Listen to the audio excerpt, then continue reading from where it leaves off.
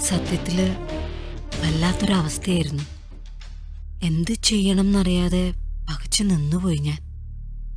ഇത്തരം സംഭവങ്ങളെ പറ്റിയൊക്കെ പത്രത്തിലൂടെയും ടി വിയിലൂടെ ഒക്കെ അറിയാറുണ്ടെങ്കിലും സ്വയം നേരിടേണ്ടി വരുമ്പോഴാണ് പലപ്പോഴും നമ്മൾ പതറിപ്പോകും ആദ്യം നിങ്ങൾ ഉൾപ്പെടെയുള്ള മീഡിയ പിന്നെ സമൂഹം ഒന്നടങ്കമുള്ള കുറ്റപ്പെടുത്തൽ പോലീസ് കോടതി സാക്ഷിമൊഴി പ്രതിയുടെ ഭീഷണി ഇതൊക്കെ തന്നെയല്ലേ നമ്മൾ സാധാരണ ഇവിടെ കാണാറുള്ളത്? ആ സമയത്ത് ഒന്നും ചെയ്യാൻ എനിക്ക് സാധിച്ചില്ലായിരുന്നെങ്കിൽ ഇങ്ങനൊക്കെ തന്നെ ആയിരുന്നില്ലേ പിന്നീട് സംഭവിക്കുക? ശരിയാണ്.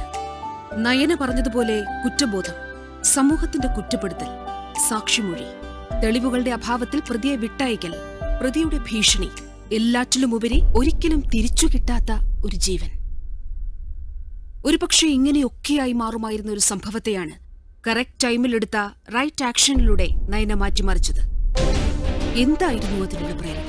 ഒരുപാട് ചിന്തകൾക്കിടയിലും ആ സമയത്ത് ഒരു നിമിഷ സ്നേഹയുടെ സ്ഥാനത്ത് ഞാൻ എന്നെ തന്നെ സങ്കല്പിച്ചു. സെക്കൻഡിന്റെ ആ ഒരു ചിന്തയിലായിരുന്നു എന്നെ സംഭവിച്ചത്.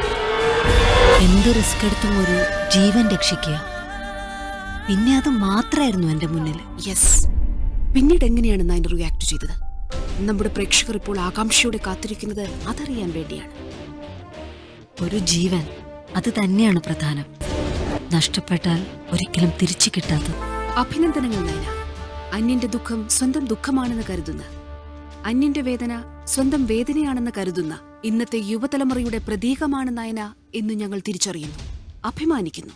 നയനയ്ക്കു മാത്രമല്ല നയനയെ പോലെ പ്രതികരണശേഷിയുള്ള നന്മയുള്ള യുവതലമുറയ്ക്കും അഭിനന്ദനങ്ങൾ. Thank you.